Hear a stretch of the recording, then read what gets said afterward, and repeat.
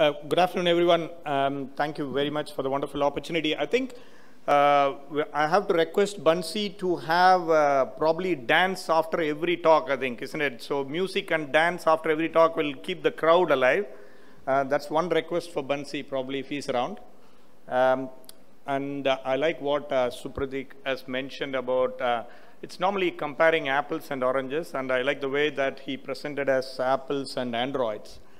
So my point is, I think whether you got a satellite connection or whether it's foldable, but the safety is important. So you can get one uh, each other, you can compare it, but I think the safety aspect is the key thing in getting all these basal uh, molecules. After all, uh, we have moved a lot from human insulin um, in recent past because of the safety. I think mainly the hypoglycemia, I think uh, time in range, the whole concept of what we've been discussing is uh, around safety. So all the talks uh, with hypoglycemia and weight gain, that is the range people think about new molecules and coming in. So, and that is the way we should think and safety uh, is the key. And we had a, a talk with Vinay just earlier about the BRIGHT study and people are talking about no hypoglycemia. No, I think insulin does cause hypoglycemia. Which is the better one and how you use it with other molecules and what is the experience and uh, uh, uh,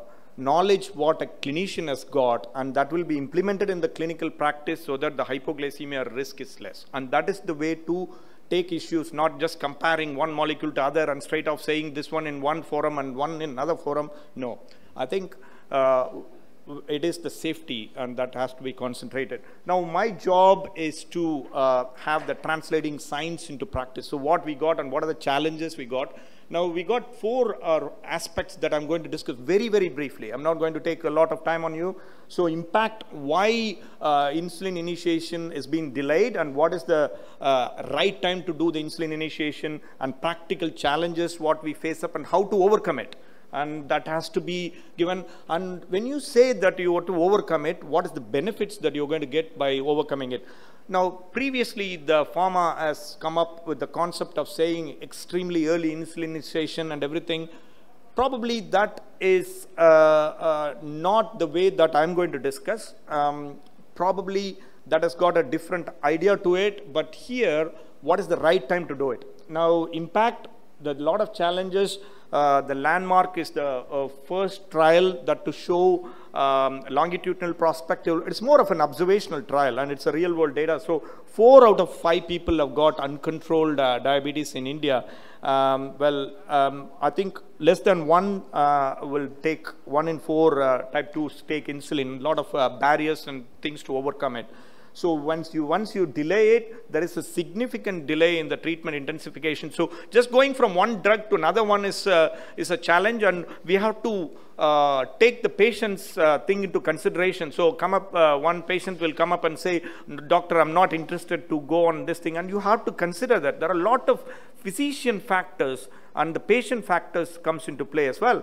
So it is not only easy job in a forum like this, we can talk and then you can't translate because the clinician has got a lot of challenges from, I don't know, from NMC, from the patients, from the economic point of view and relatives and what setup you got and a lot of other challenges. So it is not easy, but you have to know the science so that you can translate into practice. So poor uh, glycemic control will lead to bad metabolic memory. We know from probably a VADT is the best trial uh, that has been uh, uh, showed uh, huge data about the bad metabolic memory. Um, uh, the veterans have been given all the facilities in spite of good control in the recent, they, they are not getting any benefit because they had a bad past. So that tells you a bad metabolic memory. So it is a vicious cycle um, oxidative stress, advanced glycated end products. I've done some work on it. So AGE, uh, when the level goes up, the stiffness of the arteries goes up, and there are a lot of other challenges with hypertension and quite a lot of other factors comes into play with renal and eye and other things. So, and collagen uh, crosslinks and chronic diabetes complication is the eventuality.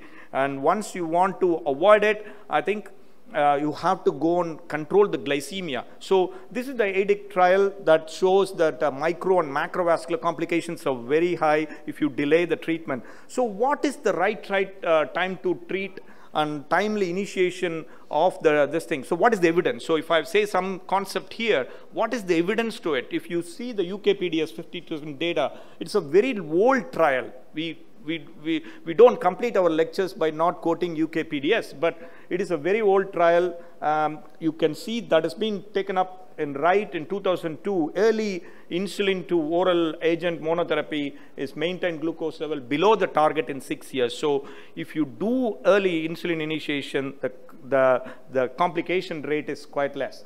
So early initialization significantly improves the uh, patient to uh, achieve the goal. If you set up the goal and want to achieve it, now I think um, uh, I'll come to that, but I think without technology in future, uh, there is going to be a huge challenge for us. Uh, we live in a modern era, but we can talk anything about the cost, but people, uh, uh the technology needs to be involved in future. Um, I think Supratik has mentioned about time in range, but a lot of other things has to be incorporated in future. We will all see.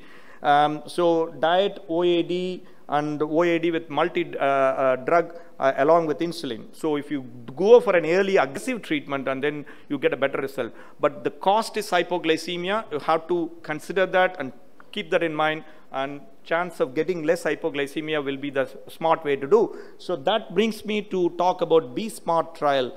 Um, that is um, uh, Bajaj uh, in diabetic therapeutics in 2019, the publication. So you do with the basal ones.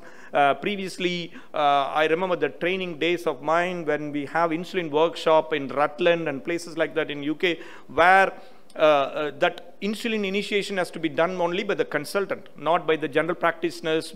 But those are the days are gone, just going for a basal insulin just as a startup and then timely one and uh, should be injected uh, at appropriate time and that is the challenge. You have to inject in appropriate time um, and uh, we got the molecules now. We can use three hours gap so you can uh, inject and then you can inject within similar sort of time within two, three hours before and after. So basal insulin analogs provide that advantage of flexible timing, as I mentioned, and making it very, very simple and intrusive. And the, with the devices what we got, and it makes the life so much easier.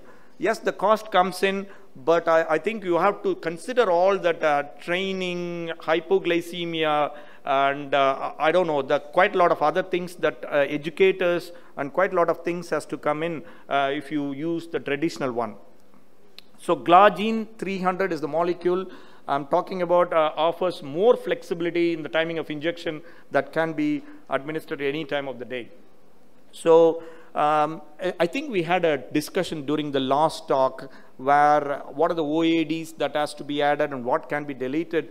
Uh, almost pretty much to me, uh, if you are uh, having a challenge with Uh, that in the tablets, what you are maximally done, then you add a small basal dose. That's what you should do. And then once you're going for a basal bolus and everything, you can add and delete some drugs. That is my way of approach. And if you do it, and you won't go wrong because you must have attained some sort of glycemic profile with whatever drug you initiated and you add on a basal insulin, that will provide extra 1% or a 0.7% or a 0.8% you're looking for.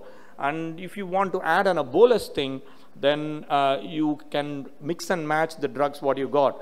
Uh, glitazones, the, the main reason is when you start an insulin, there is to be a weight gain uh, and glitazone already has got a weight gain challenge. So if you have glitazone, just consider stopping it. But on the other hand, if you want to use a small dose for insulin sensitization, for example, people can't tolerate a metformin and you're adding a glitazone to it, a very small dosage, keep that one by all means. But the weight gain is the only challenge. Uh, but uh, SUs and everything, we had a discussion earlier. So benefits of uh, early insulin uh, uh, basal support along with the oral therapy. Uh, basal insulin is capable of uh, uh, providing the beta cell restoration and the microvascular complications. As I mentioned, when the A1C comes down, the, the complication reduces. Thereby, definitely you can achieve the health economics uh, it, you can reduce the cost to the patient in long run. Um, early insulin add a lower weight of a lower risk of hypoglycemia and weight gain, which you've been listening to past two, three talks, and that is the main thing with the basal insulins. And the modern insulins does a wonderful job. Um, so if you go for the modern insulin, the evolution of basal to this thing, the training days of mine, and we had, I remember the uh, Lantus when launched, uh, even the uh, the branding, the coloring, everything uh, has to uh, has come up with a lot of thinking, and those it is like a, a bingo molecule for a very very long time. Uh, before all these molecules have come in. Uh, it is developed to overcome the short limitations and early basal insulin with NPH was the only thing before uh, Lantus uh, and Lantus was a God sent molecule during our training days for a very, very long time. Uh, before that, we didn't have any molecule um, apart from NPH, and then the mixed analogs came in, but the basal insulin was flat insulin, that is the Lantus. Um, and then uh, Glargine 300, I don't know whether uh, you might have heard the um, molecule talk from the person who's uh, invented the Glargine 300. I think he was describing how it has been done. Uh, um, it is a drug with less variability. The, the glycemic excursions are very, very less and more prolonged action of the drug will gives a better uh, sort of molecule to use uh, when you need it. So the smaller volume can be injected and smaller uh, subcutaneous depot is produced uh, when compared to the other molecules and then the different absorption kinetics for a non-gradual releases happens um, and then the distinct PKPD profile. And that makes it a huge difference in the molecule as a whole. When it goes to a smaller surface area, uh, you see the Glargine 100 and Glargine 300, the area is very, very less. And it is the same molecular structure, but the mode of protraction and metabolism makes it uh, unique so that uh, the, the variability is less and it is available for more longer duration and so you can use it in and around uh, three hours. I'll come to that, um, uh, the PKPD. Because of the more stable and prolonged action, uh, injection timings can be flexible between uh, two to three hours. Now, the better efficacy with lower hyperglycemia and weight gain, when you compare it with uh, Glargine 100, uh, we are not comparing apples and oranges here. Uh, we are comparing apples and apples here. Small apple and a big apple probably. Um, and um, uh, less weight gain when compared to uh, Glargine 100. And switching from the first generation basal to Glargine, it improves the significant improvement in the pain score uh, with, the, with the easy usage and switching preference of the first generation to uh, the 3U300 makes a following scores, easy use, forced to inject, switching preference, and pain.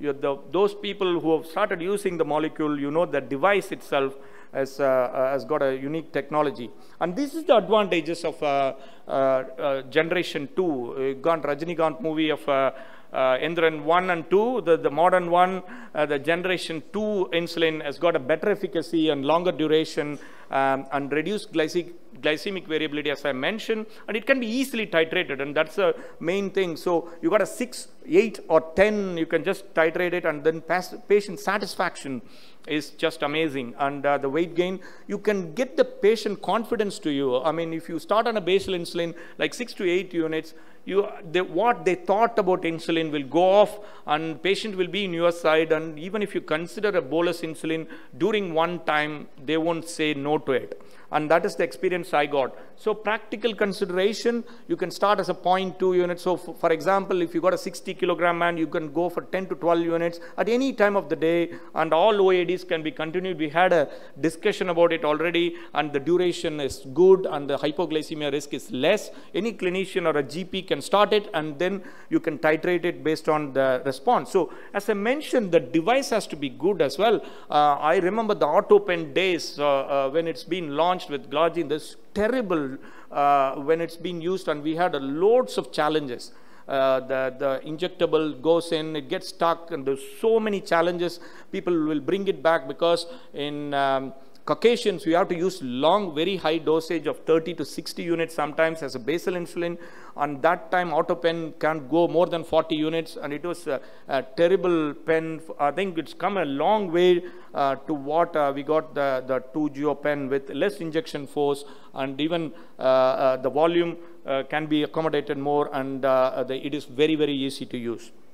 So it is a reusable pen, but it looks like a disposable pen, but it's a reusable pen, but it's got a dedicated cartridge storage and it's a, uh, the, uh, the usage um, uh, it won't get any wasted. And that is one of the things. And then the pen dimensions are also, uh, those who used uh, will know uh, very, very clearly. And as a doctor, sometimes we don't explain anything, but if you handle the pen yourself, uh, you will know uh, even the one unit adjustment is there, short dial extension is there, and uh, also the one unique thing is about uh, 450 units compared to 300 units each, uh, this thing. It gives a psychological advantage. If you get a 10 units per day patient, then you can use it for next extra another uh, probably 15 days or so.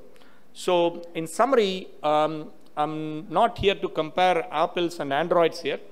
Um, but I, I, think it's just to think the safety of any molecule what you're going to use. And I feel the basal insulin or the way forward if you want to titrate it along with OADs. And if you want to use the molecules, then the safer ones are all the second generation one. You got BMW to use, you got Audi to use, you got a, this thing. So you can choose what it is. And I know the cost comes here, but I think it comes with the safety advantage as well with hypo and um, uh, weight gain risk uh, is less when compared to other molecules and uh, it is the A1C reduction and the glycemic excursions are very less and uh, I've just shown you in one picture with all the uh, quite a lot of advantages of the uh, generation 2 insulin. With that, I think my time is over. Thank you very much for the wonderful opportunity and for patient listening.